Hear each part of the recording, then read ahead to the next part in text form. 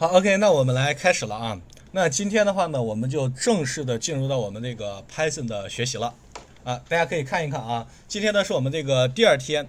那今天的话呢，主要上午的话呢，跟大家这个呃第一节课呢，更多的跟大家介绍一下这个 Python 它到底是怎么回事儿，怎么来的啊，以及它能够以后能做什么事儿哈。好，这个呢我们在开班的时候也跟大家大概的讲过啊，但有的同学可能没有参加过我们这个开班典礼，那我们这里边呢再跟大家说一下。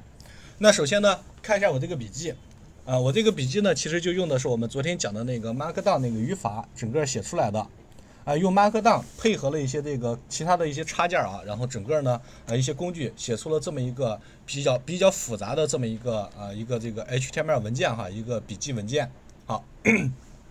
那跟大家说一下啊，首先呢，这个里边呢会有一个学习目标，学习目标里边呢会告诉大家我们会学哪些东西啊，大概的一些情况会跟大家介绍到，然后呢又又讲这个啊，这比方说今天了解 Python 安装和配置 Python，昨天呢我们已经配置过了，今天的话呢再跟大家简单的说一说，然后呢体现这个体验这个交互式编程，然后这个等等等等啊一些这个规定，那我们 每一个讲完这个讲完之后呢，这个呢大家要知道一下，对照这个啊。检验一下自己的学习效果啊，这是一个重要的事儿啊。好，那我们呢，接下来呢，接着接着讲啊。好，首先呢，第一个呢，先介绍一个东西，叫计算机的组成。呃，这个东西的话呢，是比较对我们来说啊，应该说是一个比较重要的一件事儿。因为我们有的同学从这个可能啊，对于电脑的认知只会开机，然后呢，只会写个 Word，只会写个 TXT 啊，聊个 QQ。啊，打个游戏是不是？桌面上有一个游戏，哎，点两下，然后就开始玩游戏了，是不是？他都没有想过这个电脑到底是怎么回事，这个计算机到底是咋回事，是不是？那我们呢，跟大家介绍一下什么叫计算机啊？其实计算机呢，在早期的时候呢，是一个比较比较比较狭隘的一个概念啊，可能就真的指我们这个电脑。那其实呢，到现在为止的话，这个计算机它这个范围呢是越来越广了啊，不只是这个个人的电脑。你像这个手机，像那个 Pad，我们都可以给它称为一个计算机这么一个概念啊，可以，可以这个模糊的称为一个计算机啊，它跟计算机还是有一定区别的，但是它和，但是呢，它和计算机有很多很多相似的东西啊，啊，基本的原理都是一样的。那我们要实现计算机编程啊，首先需要明确计算机的组成，就是要知道这个计算机到底是由什么东西组成的啊。那其实呢，计算机的组成呢，主主要呢就分为两大部分，一个叫硬件，一个叫软件啊，硬件和软件。那我问一下大家啊，大家知道硬件是啥，软件是啥吗？有没有同学知道的？好，那这样哈，我问大家一个问题啊，大家说一下啊，这个内存是硬件还是软件？来，在评论区回答一下我。现在评论区能用吧？应该没崩吧？硬件对，内存是硬件啊。好，那我再问一下大家啊。我这个微信是硬件还是软件啊？微信是硬件还是软件？好，软件是吧？啊，对，很好啊，大家都开始刷起来了，很好。这个这个感觉很舒服啊，看到大家刷屏，我感觉非常的爽啊。这个有了我又火起来的感觉啊，很好啊。好，我们都知道啊，其实这个最基本的概念大家都是知道的啊。硬件的话就是看得见摸得着的。有同学说老师我摸不到 CPU 啊啊，那是因为你没拆开电脑，明白吧？如果把你的电脑拆开的话，这个里边呢就会有这个，你就能够看到你的 CPU 了啊。CPU 是硬件啊，然后这个软件的话呢，就是我们操作的、看到的啊，就是一些怎么说呢，就是一些用的一些软件啊。好，这么一个概念啊。那我们写代码的话呢，主要是在哪个层面上写代码呀？啊，是在软件层面上写代码啊。我们写的代码呢，都是在软件层面上写的代码。我们是软件编程工程师啊，软件这个编程工程师啊，那不是硬件工程师。也有做硬件的啊，硬件工程师也有的，但是现在的话呢，硬件工程师，呃，这个说的好听叫硬件工程师，是不是？说的直白一点啊，就叫啥呢？就是修电脑的，明白吧？啊，嵌入式嵌嵌入式其实也不是这个硬件啊，嵌入式更多的也是呃硬件，其实就把这个就把这个硬件弄起来，完了也是写代码，明白吧？硬件的成本现在越来越低了啊，你想想看，以前你这个九几年的时候买个电脑，那都什么电脑啊？那都非常破的电脑，是不是？都很贵哈，好几万，是不是？现在的话，硬件的成本越来越低了啊，而且现在大家基本上硬件呢不修，坏了就换，是不是？坏了就换啊，基本上不修了啊。所以呢，这个硬件工程师这个工作的越来越少了，那更多的都是这个软件哈，更多的写软件。硬件呢是这个基础科学的发展哈，软件的话呢还需要我们这个写更多的这种这种相相当于这个呃脑力的一些一些运动啊。好，那这里边呢有个概念，什么是计算机啊？计算机呢俗称为电脑啊，是现代一种啊，这里边说了一大堆哈，高速计算的电子机器哈。呃，其实这个现在跟大家介绍计算机，大家都已经都已经知道了，是不是？那早先的时候跟跟跟别人介绍计算机，别人可能还不知道，是不是？像我第一款，我问一下大家啊，大家接触的第一款计算机这个操作系统是哪个系统啊？接触的第一款计算机，来在评论区里边给我扣一下，我看看你们用的是哪个操作系统的。叉 P，叉 P，哇，那你们用的晚呢？那朋友们，Win 七，哇，你 Win 啊，Win 九七啊，Win 九八，Win 两千啊，好，可以啊。呃，有的同学这个比较早哈，Win Win 九 Win Win 七没有 Win 九七吧？只有 Win 七是不是？九七是哪个呀？没有九七啊，只有九八、九五、九八好像是，还没有九七啊。那我接触的第一款操作系统的话呢，Windows 的操作系统是 Win 九八啊。有同学跟我接触的差不多哈，那说明你那个接触的比较早啊。Win 九八，网吧的 X X X P 还是比较晚的啊。啊，有同学说接触的第一个电脑是 Linux 哈，那你这个这个开开局很高端呢，是不是？好，那我们呢，我接触的第一款电脑呢是 Win 九八啊，这个 Windows 九八这个操作系统。那其实它它是一个软件的一个东西，是不是？当时我接触电脑的时候，只会干啥呢？只会开机。就是我知道那一个那有一个那有一个按钮可以按一下，它开机了。好，完了之后什么都不会了，鼠标也不会用，然后这个啊关机甚至关机都不会关，最后电脑都不会关啊，这已经尴尬尴尬到这个程度哈。但是也无所谓啊，因为这个电脑也不是我自己的，是不是？去了这个去了这个网吧以后开机啊就玩，玩完之后哎也不用管它关不关机不关机，直接走人就完事儿了，是不是？啊，那个时候的网吧还没有什么，还没有这种什么那个呃刷身份证啊，还没有账号吧，就是你跟他说，哎，一个小时，好，他给你开一个小时，你玩完了之后直接走人就行了。好，这么一个概念啊。那我们说的呢，更多的啊，在我们这个操作的时候，黑网吧是吧？哼 哼黑网吧是哈。那我们这个其实，在我们那个说的这个我们操作的计算机啊，操作的时候，更多的啊，操作的就是这个软件儿。那其实呢，在软件的基础上呢，还有一这些硬件啊。那我们比较关注的硬件有哪几个呢？有这个 CPU、内存、硬盘这三个的话呢，其实可以称为我们这个操作系统的重要的三大件儿：CPU、内存和硬盘啊。这三个还是比较重要的啊啊，这是我们说的一个啊。那其实呢，我们写代码啊，我跟大家讲一讲啊啊，有显卡，对，有同学有显卡是不是？那要如果都来都来念叨的话，有显卡，还有网卡，还有主板，是不是啊？各种各样的，是不是啊？都有啊。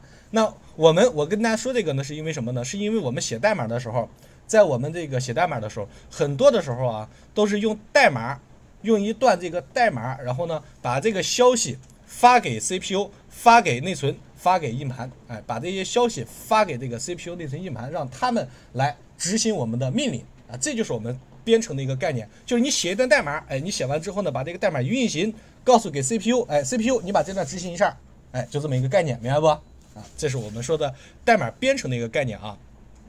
好，那一个完整的计算机系统呢，有两部分组成的，一个叫硬件系统，一个叫软件系统啊。那硬件系统呢，也分也分为主机部分和这个外设部分啊。主机的话就是中央处理器，中央处理器其实就是 CPU 啊，CPU。然后这个内存处理器啊，内存储器啊，随机存这个存储这个随机存储器，这个尺度存储器等等等等啊。好，然后呢，硬件的话呢，我们不做过多的。这个讨论哈，因为硬件我们不是硬件工程师，不用管它。那更多的话呢，我们是做这个软件啊。软件的话呢，其实也分为两大块啊。哪两大块呢？一个叫一个叫系统软件，一个叫应用软件啊。系统软件的话呢，是这个操作系统层面的，它包含我们这个操作系系统、这个驱动程序、语言处理程序、数据库管理系统等等啊。好，这是一个什么概念呢？我不知道大家有没有这个。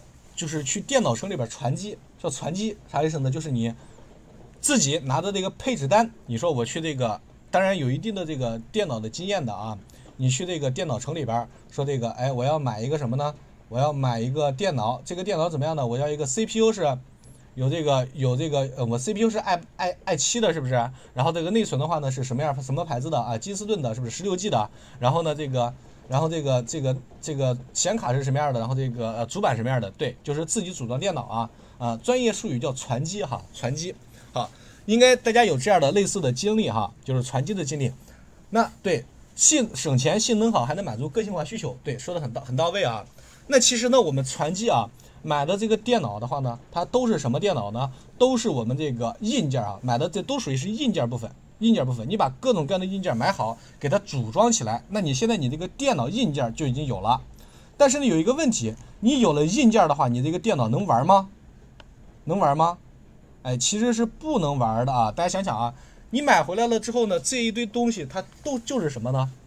顶多怎么玩呢？顶多是你把这个装好了，插上电，它给你亮一下，是不是？亮完之后就不能玩了，现在啥都做不了了啊！有同学说人机对话，对，其实就是这种概念啊。你买完之后呢，这个你把它这个各种各样的硬件组装好，然后呢，再给它这个你再给它怎么样呢？插上电之后，它就不能玩了，它就只能给你响一声，滴一声开机，是不是？完了之后就玩不了了，你就看到小黑小黑框框，是不是？啊，那个小黑框框呢，其实是不能用的，是不是？啊，那。这个这个时候呢，需要怎么样呢？需要在我们硬件的基础上装一个操作系统啊，叫装一个操作系统。那我们对有同学说了，装操作系统，安装驱动程序啊。那这个操作系统的话呢，有哪些常见的呢？跟大家说一下啊，这个比较常见的几个这个系列哈，一个就是 Windows 系列啊，操作系统呢，我们跟大家简单的说一说好吧？来跟大家总结一下，因为这个干说的话，我怕大家记不住啊。嗯，有的同学不要觉得无聊啊，你不要觉得老师这些东西你还跟我讲吗？嗯，我这么跟大家讲啊，有些有些有些这个常识性的东西啊，有一些同学确实不知道啊，确实是不知道的。这个我们还是得跟大家说一说，因为你既然做这个开发，哎，你就要知道我们到底在做什么，是不是？啊，计算机的计算机的这个组成啊，好，那其实有两部分啊，一个叫硬件部分哈，硬件部分好，有什么东西呢？CPU，这是我们比较关注的内存和什么呀？内存和这个硬盘，好，这是一个。然后呢，还有这个软件部分啊。好，软件部分呢又分为这个系统软件，系统软件哈。那系统软件有什么呀？有分为这个操作系统，这个哎，操作系统包括我们的这个操作系统，包括我们这个还有我们这个驱动程序，还有什么东西呢？这个叫呃语言这个编译程序、编译程序等等等啊，它都属于是系统软件，明白吧？好，那这个里边呢，操作系统的主流的有哪些操作系统呢？啊，对。大家写的很好啊，主流的就是我们这个 Windows 啊，大家比较见的比较多的 Windows 这个系列啊，操作系统，操作系统。好，除了这个之外，还有哪个呢？哎，大家可能见到的就是这个 Mac 啊，Mac 操作系统啊，Mac 这个操作系统。还有什么呢？还有这个 Linux 系列哈，它也是一个系列操作系统啊。好，除了这个之外啊，对，有的人同学说了，还有这个安卓和这个什么呀？和这个。嗯，iOS 啊，这这几个操作系统啊，这么几个啊，大家都要知道啊。那其实呢，在我们接触更多的啊，包括呢，我们这个上课的时候，我把这个哎放过来啊，包括我们上课的时候，我们上课用的环境呢，都是这个 Windows 的操作系统。哎，Windows 啊，有同学说苹果哈，苹果就是这个 Mac 操作系统啊，苹果用的就是 Mac。好 Windows 里边呢有各种各样的系列，什么 Windows 这个，它其实也分啊，分两个，一个叫 PC 端，PC 端，什么叫 PC？大家知道吗？这个 PC 是怎么翻译的呀？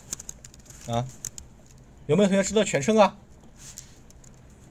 ？P E R S O N Personal，C O M P U T E R Computer 哈，就是个人电脑啊。对，个人电脑。PC 端的话呢，有哪些呢？比方说这个 Win 九五啊，大获成功的是一个 Win 九五，然后呢 Win 九八，Win 两千，Win，然后那个 Win 两千完了之后哪个呢？Win 这个两千。然后呢，Win 这个叉 XP 是不是？还有什么 Windows 什么？还有一个 Vista，还知知道这个吗？大家知道知道吗？哎，昙花一现的啊，很不好用啊。Win 七，然后这个 Win 八，然后到现在 Win 十是不是？啊，大概的这些其实都属于是微软这个操作系统啊，都是 Windows 操作系统的啊。好，除了这个 PC 端之外呢，它其实还有一个叫 Server 端哈，就是服务器啊。有同学没有听说过 Vista 是不是？啊，这个 Vista 的话是一个。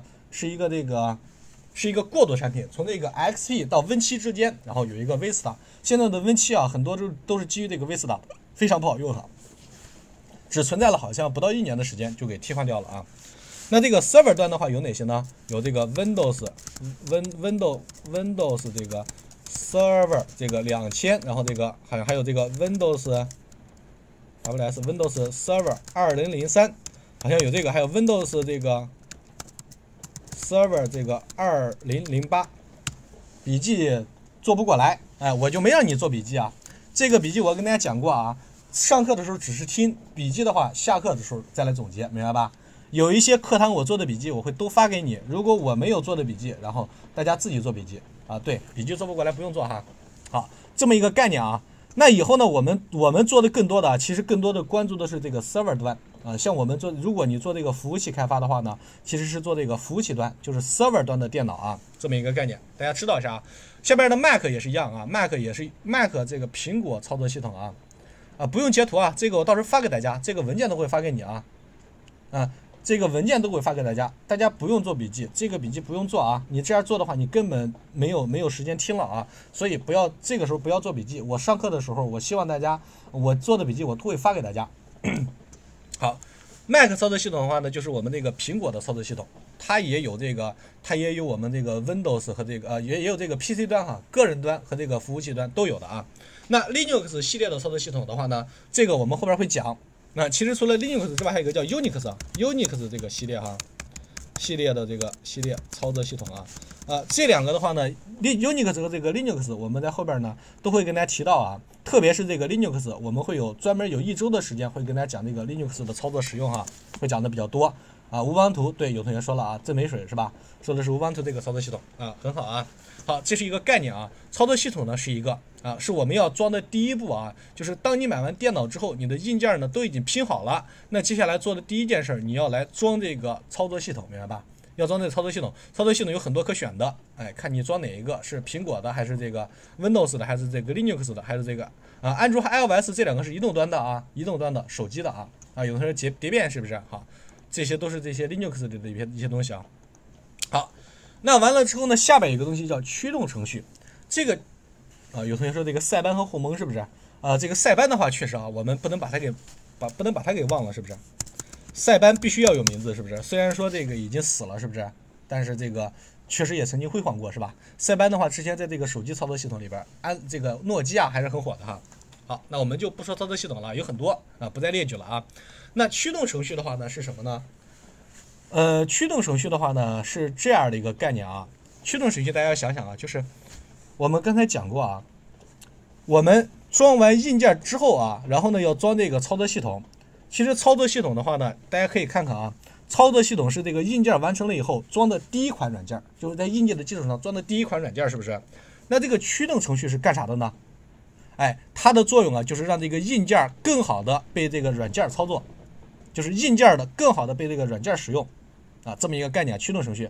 驱动程序的话呢，一般情况下啊，不需要你再装啊，因为我们装操作系统的时候，它自带的就有一些驱动程序。但是呢，有一些同学可能遇到过这样的情况，就是我装好了操作系统之后呢，我发现一个问题，发现什么呢？我这个电脑呢能开机也能用，但是呢就发现我这个，哎，我这个上不了网，呃，WiFi 不能用，或者说，哎，我这个电脑怎么样呢？这个，呃，这个什么呢？这个就是，呃，我电脑的这个。呃，剩这个没有没有没有这个没有这个声音，就是电脑这个放音乐没有声音啊，都能用，就是这个网卡不能用，声音也不能用，甚至这个有些时候这个界面哈，就是这个图形特别的糊啊，特别的糊。说我玩游戏的时候装了一个显卡，是不是专专门搞了一个显卡，然后呢没有用用上那个显卡，是不是啊？这就是有一些啊驱动没有装啊，大部分同。大部分情况下啊，用这个通用驱动就可以了啊。这个驱动程序的话呢，也可以。大家以后这个如果遇到电脑的问题的话，你可以想一下这个驱动哈，驱动的程序。对，就是这种声卡、网卡还有这个显卡这些驱动啊，驱动很重要。对，啊，一般情况下呢，这个电脑装好之后都会有这个驱动都自带的啊。那如果你要是觉得你的驱动在哪看驱动有没有装成功呢？在这个地方啊，在电脑里边有一个叫管理。啊，有一个管理管理里边呢，有一个叫设备管理器，大家可以看看这个啊，在这个里边呢，你可以扫描一下啊，扫描这个硬件改动。如果你扫完之后，发现你这里边有某一个啊，某一个是一个黄色的叹号，啊，有一个是黄色的叹号，然后呢，这个地方就告诉你它的驱动没有装成功，你现在呢需要给它重新装一下驱动。啊，对，有同学说正在讲计算机，对，讲计算机的基本操作啊，基本原理，这个呢大家需要了解的啊。啊，对，那你这个里边驱动装不了怎么办呢？没有怎么办呢？哎，没有的话呢，我们就可以用一下三六零驱动大师，对，什什么这个三六零驱动大师，或者是驱动精灵呐，各种各样的这种专业的这个驱动软件来做。你你用用它来装驱动很简单啊，就是直接点一点，点一点，点一点哈，就是下一步下一步就能点点点点出来了哈。讲的不错啊，感谢银奖哈，你这不像是夸奖，像是评价哈。好，感谢啊。那这么一个概念啊，硬硬件的话呢，说完之后呢，我们说这个软件，然后里边有一个这个驱动程序啊。好，那完了之后呢，剩下的还有什么呢？语言的编译程序，这个我们待会儿要讲的啊。什么叫语言的编译程序呢？很简单，就是我们刚才说过啊，我们要做的一件事是啥呢？我们要自己写一段代码，交给这个计算机，让计算机来怎么样呢？来执行我这个代码。那现在就有个问题了啊，我写的东西怎么样让计算机能够明白呢？哎，它怎么能读得懂呢？那我跟大家讲一讲啊。计算机呢，其实就是啥玩意儿呢？计算机就是这个一大堆的硬件啊，电子元器件，它只能识别什么？大家知道吗？有没有同学知道的？电脑只能识识别什么东西？啊，电脑只能识别什么？对，零一，对，说的很对啊。机器语言，对，说的很对啊，只认识零和一。哎，计算机只认识二进制，就是零和一，零一零一零一，除了零和一之外，它谁都什么都不认识，明白吧？啊，他自己的语言哈，这位同学你说的很对哈，确确实他只认识自己的语言啊，就是零和一，有电流和没有电流这两个区别，明白吧？哎，它是一个电子的东西，它只能识别有没有电流，有电流就有，没有电流就没有，明白吧？就是二进制零一哈。那现在呢，就有个问题，我写的代码，我肯定不能写零一零一的，让电脑来认识，是不是？啊，这位同学说有延迟哈，你感觉你有延迟啊？那确实是有延迟的。我这边说完之后，差不多等到这个。这个很呃，这个三五秒的时间，呃，甚至十多秒的时间才能够看到大家的反馈哈。有延迟，哎，没关系，我们慢慢来，是不是？我看这个有延迟也没影没没影响大家互动哈。我看大家都挺热情的啊。好，这么一个概念啊。所以呢，这个语言编译程序呢，就是让我们写的代码变成这个机器能够识别的这个零一零一啊，这就是语言编译程序的一个概念啊。这个大家要知道。好，除了这个软件部分啊，这些代码啊，大家注意，这些代码都不是我们写的啊，这些代码都不是我们写的。你像操作系统谁写的呀？操作系统分是不是？如果你是 Windows 系列的话，这是微软公司写的；如果你是 Mac 操作系统，这是苹果公司写的，明白不？哎，这是有些大公司来写的，不是我们写的啊。那你像我们除了这个之外呢，我们以后可能更多的就是哪儿呢？就是这个啊应用软件，应用软件这个可能是我们写的最多的啊。比方说什么东西呢？这个啊 QQ。啊，什么这个微信，还有什么这个撸啊撸，是不是？这些东西呢，都是一些应用软件啊啊，相当是这个应用层面的一些软件。好，那这个应用软件的话呢，以后我们写的更多的可能就是写这些 QQ、微信和这个撸啊撸类似的这种功能的一些软件啊。好，这么一个概念啊，应用软件呢是我们这个开发以后开发的一个方向啊。呃，当然了，我们写的应用软件的话呢，不是这种啊，跟呃不是这种 QQ、微信啊、撸啊撸这种。桌面级的应用程序，啊，什么叫桌面级呢？就是它运行在你的电脑上有这个，呃，有有图形化界面的。我们以后可能写的更多的啊，如果我们要写软件的话，更多的可能是什么呢？是运行在服务器里边的一些应用哈，服务器里边的一些应用。好，这个概念呢还是有点抽象的啊。现在呢大家知道一下就行。你先记住一点啊，我们以后写代码更多的是在这个应用软件层面来写代码的啊。当然呢，也不排除啊，如果有的同学你做的非常好，是不是？过了几年之后，你觉得哎，这个做的很棒，我做的很好很好。然后呢，你被这个微软这个亚洲研究院是不是？然后被聘过去了，你开始做这个 Windows 系统，也不是没有可能的啊。啊，你也也有可能这个写这个操作系统了，这是一个方向啊，啊，这是很有可能的。好，这是我们说的这个计算机的组成，分为硬件和软件两个部分啊。哎，有同学这个没有这个计算机基础的，我一定要跟大家讲一讲啊，因为我们后边呢会涉及到这个大量的这个写代码，我们写代码到底在做什么，大家要知道啊。那其实呢，这个它这个硬件系统的话呢，其实有一张图啊，这个能跟大家这个写的很明白的啊，是怎么做的呢？我们计算机是怎么样运行一个程序的呢？首先呢，第一个我要从这个输入设备啊，输入设备包含什么呢？你的 CP 呃，你的这个这个呃鼠标、你的键盘、你的摄像头、你的麦克风。这都属于是输入设备，就是我把我的这个信息输入给电脑，用鼠标点一下这个某个界面，那这是一个输入的一个信号；用键盘写入一个数字啊，写入一个写入一个东西，然后呢，把我这个文字输入进去了。那我用这个摄像头把我的这个图片啊，把我的人脸是不是输入进去了呀？用麦克风把我的声音输入进去了。输入进去之后呢，交给电脑，电脑呢在内部啊，通过这个。呃，通过这个 CPU 啊，CPU 和这个内存，然后呢进行之间的不断的数据的交换，不断的数据数据处理，然后呢再把这个数据输出出来，告诉给你这个结果，啊，然后呢中间呢可能还要涉及到什么呀？外存储器，它可能还要读一下这个硬盘，啊，读一下硬盘啊。其实呢，这个它画的呢有点抽象啊。说一个最简单、最直接的一个操作是什么呢？大家都在你的电脑上放过电影吧？放过放过这个在离线的，你下载一个电影下来，然后来播放它，你是怎么播放的？显示器就是输出设备啊。呃，这么说就是，显示器是输出设备的一种，但是并不是说输出设备全是显示器。啊，因为什么呢？